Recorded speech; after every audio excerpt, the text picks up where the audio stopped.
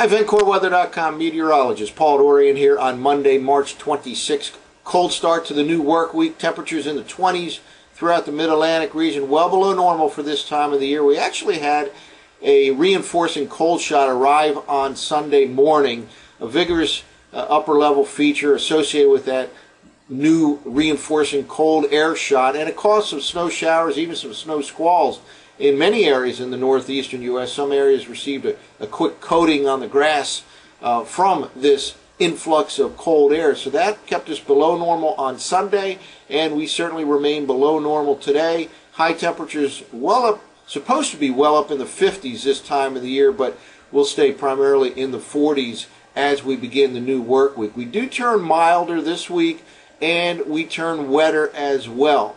Uh, perhaps 50 degrees on Tuesday afternoon, and then 60 degrees certainly in the I-95 corridor by Thursday afternoon, maybe even on Wednesday in D.C.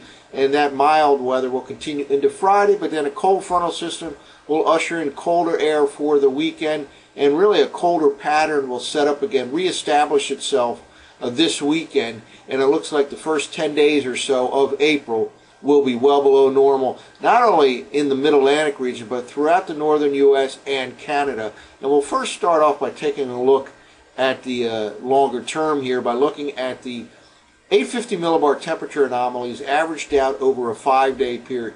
This is the current five-day period, and these are uh, from the ensemble run of the GFS at Xerix 6Z. Above normal, on average, over the next five days. And again, uh, we start off the week below normal, but we'll get closer to normal on Tuesday, and then probably above normal for the Wednesday, Thursday, Friday time frame. Again, with 60 degrees uh, possible for high temperatures Wednesday afternoon in D.C. and uh, certainly in Philly, uh, more likely on Thursday and Friday as well. But Friday brings a cold frontal system. Notice, however, over the next five days, starting to show up here as uh, well below normal up across south central and southwestern Canada. Let's now go out to days 6 to 10. Well, here we go. This is the 850 temperature anomaly, averaged out over days 6 to 10. That colder than normal blob of uh, air expands to the south and east, and really, uh, no better way to describe it than just a wall of cold enveloping all of southern Canada and the northern U.S. Again, this is days 6 to 10 as we begin the month of April. April 1st is uh, on Sunday, Easter Sunday here, but just a very expansive area of colder than normal conditions in days 6 to 10. Let's go out even farther in time. And here we go. This is days 11 to 15. It runs from April 5th to April 10th and just a, a, very widespread area below normal conditions in the uh, northern U.S. and southern Canada, uh, really focused in on the uh, northeastern U.S. and mid-Atlantic region as well in this time period. So again, we turn warmer this week. It's just a temporary warm-up, especially noticeable in the Wednesday, Thursday, Friday, Friday time frame. But colder pattern reestablishes itself this weekend as we begin the month of April and it looks like the first 10 days of April will be quite a bit below normal indeed, not only across the uh, northeastern U.S., but throughout the northern U.S. and the southern part of Canada. Let's now take a look at some surface forecast maps. Well, let's walk through the surface forecast maps from the 6Z GFS model run in six-hour increments. First of all, starting off the day here, a key player, strong high pressure to the north and east gradually pushes off the coast, and that allows for milder air to push northward from the deep south towards the Ohio Valley first, and then into the Mid-Atlantic region as we progress through the next few days here. But also notice several bouts with the shower threat here coming to the Mid-Atlantic region as we turn warmer. Beginning as early as late in the day tomorrow, here we are Tuesday afternoon, and especially north of the Mason-Dixon line, there will be a the threat of showers late tomorrow and tomorrow night.